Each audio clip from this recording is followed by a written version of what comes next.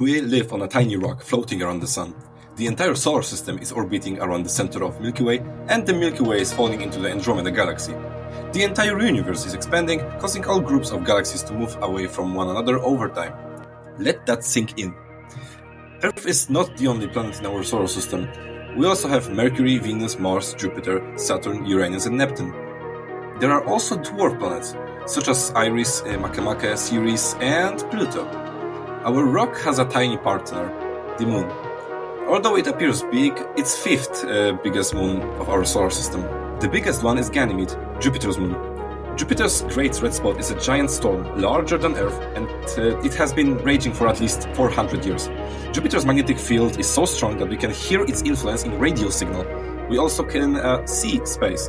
On old TVs, part of the noise is cosmic microwave background, which is a relic of Big Bang. Most of the planets have moons. The only planets without them are Venus and Mercury. A day on Venus is longer than a year on Venus. It takes about 243 Earth days to rotate once, but only 225 Earth days to orbit the Sun. Our moon keeps on flying away from us. At one point, billions of years ago, it was 10 times closer than it is now. Currently, moon is flying further roughly 4 centimeters per year. Well, moon is not the only thing we can see on our night sky. We also have stars and uh, auroras. Auroras are caused by sun particles uh, hitting our magnetic field, which protects us. Do you have magnets on your refrigerator? Well, that magnet is stronger than Earth's magnetic field. On Mars, auroras also exist, but they are not visible to the naked eye. But wait, why are planets called planets? Greeks called them planetes, which meant wanderers, travelers. These objects traveled across the night sky, moving in front of stars, and stars are objects that are not moving. So, back in the days, Sun was also a planet, as well as the Moon. Speaking of the past, sharks are older than the rings of Saturn, meaning that there was a time in history when sharks were already swimming through Earth's oceans while Saturn was ringless. Rings are made out of rocks and ice. Technically, uh, other planets also have rings, but uh, the only ones easily visible are the ones of Saturn and Uranus. Saturn's North Pole has a bizarre, persistent hexagon shaped storm system over 30,000 kilometers wide. Uranus rotates on its side with an axial tilt of 98 degrees. This means that it essentially orbits the Sun rolling along, like a barrel. We have sent satellites here and there. The furthest satellite currently is Voyager 1, 25 billion kilometers from Earth. The fastest moving satellite is Parker Probe, orbiting the Sun with a speed of almost 700,000 kilometers per hour. For example, ISS that is orbiting Earth is moving at the speed of just 27,000 kilometers an hour. Distance from Earth to Moon is around 380,000 kilometers, which means that Parker Probe would get there within 30 minutes ISS would need around 14 hours, right? Light would need a little over one second to get to the moon. But wait, do you know what does it mean? We do not see the moon live, we see it as it was over one second ago. Same goes for all the objects in the universe. For example, we see the Sun as it was 8 minutes ago, Betelgeuse as it was 700 years ago, and the Andromeda Galaxy as it was 2.5 million years ago. Speaking of Betelgeuse, do you know that it will explode one day? Sun's uh, fate is the same. It will expand and then explode. It's unavoidable. But going back to Betelgeuse, if it would explode today, all of a sudden the luminosity of Betelgeuse would spike by about a factor of 7000. It would go from one of the brightest stars in the night sky to the brightness of a thin crescent moon, about 40 times brighter than the planet Venus. Betelgeuse is not the brightest star out there. Uh, ignoring planets, moon, and the sun, the brightest star of the northern sky is Arcturus, and the southern hemisphere it is Sirius. Okay, but the brightest doesn't mean the closest, okay? Proxima Centauri is the nearest star to Earth after the Sun, located 4.25 light years away in the southern constellation of Centaurus. Well, there are many other stars. Milky Way itself contains between 100 to 400 billion of them. It is estimated that there is a similar number of planets in our galaxy. A planet orbiting uh, other star uh, than the Sun is called exoplanet. Potential planets orbiting around black holes are planets. Uh, yes, yes, interstellar and stuff. So far, we've discovered almost 6,000 exoplanets. So, why is Earth so special? Well, it's the only place we know of uh, where the situation is perfect for life uh, as we know to exist. One of the key conditions is for water not to be frozen and not to vapor away. Earth exists in Goldilocks zone of the solar system, a place with perfect conditions for water to be in a liquid state.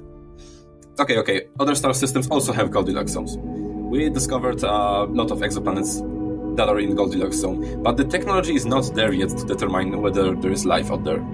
But well, hundreds of billions of stars in our Milky Way, with hundreds of uh, billions of other galaxies in the observable universe, we are definitely not alone. Wait, observable universe? What does it mean?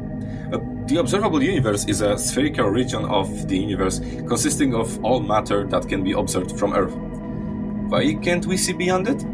Because the speed of light is finite and the universe keeps on expanding. Uh, this means that even if we could travel close uh, to the speed of light, most of the universe is out of our reach, like forever. With current technology, only solar system remains within our direct physical reach. We've done unbelievable things, like really. Cassini-Huygens mission uh, to Saturn was launched in 1997, and uh, it discovered new moons, uh, studied Saturn's rings, and landed the Huygens probe on Titan, revealing lakes and rivers of liquid methane and ethane. We also had many Mars NASA rover missions, including uh, Spirit, Opportunity, Curiosity, and Perseverance and they have explored Mars' surface, searching for signs of past life and studying the planet's climate and geology. We've also had New Horizons that was launched in 2006. This mission flew by Pluto in uh, 2015, uh, providing the first close-up images of the dwarf planet and its moon. We've also had Juno mission. Uh, this spacecraft was launched in 2011 and it has been studying Jupiter's atmosphere, magnetic field, and weather patterns since 2016. We've also had, and we still have, Parker Solar Probe, it was launched in 2018. It's uh, studying Sun's outer atmosphere, aiming to understand solar wind and space weather. Next, Kepler Space Telescope, launched in 2009, it discovered thousands of exoplanets, revolutionizing our understanding of planets outside of our solar system. And let's not forget James Webb Space Telescope, launched few years ago. It was set to study the universe in infrared, providing insights into the formation of stars, planets, and galaxies. And the legend, Hubble Space Telescope, who provided us with uh, cosmos we've never seen before.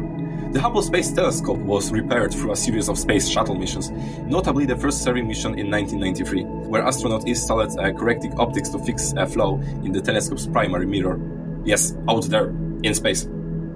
Uh, first airplane flight was done in 1903, and just 66 years later, we abandoned our planet to land on other celestial body, the Moon.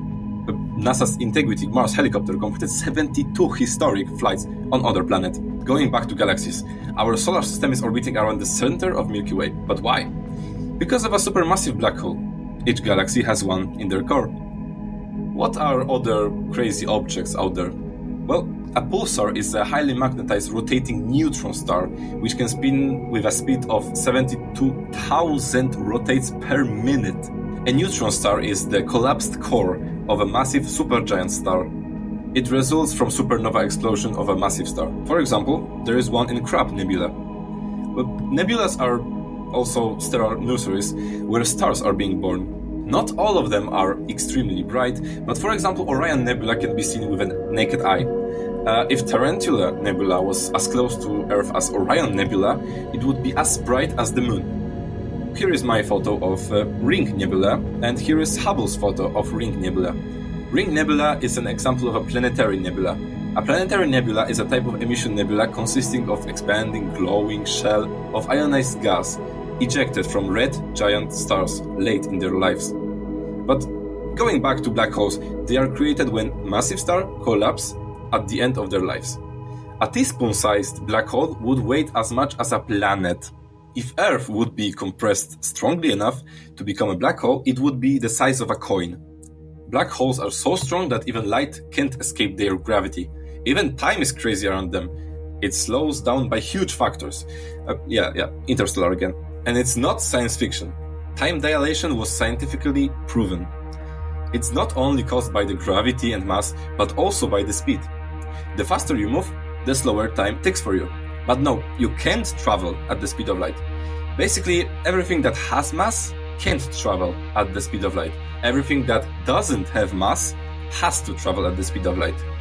Uh, quantum entanglement is an exception where information seems to be traveling instantly, even across the universe. But the video has ended now and I don't have no more time to explain it. Bye!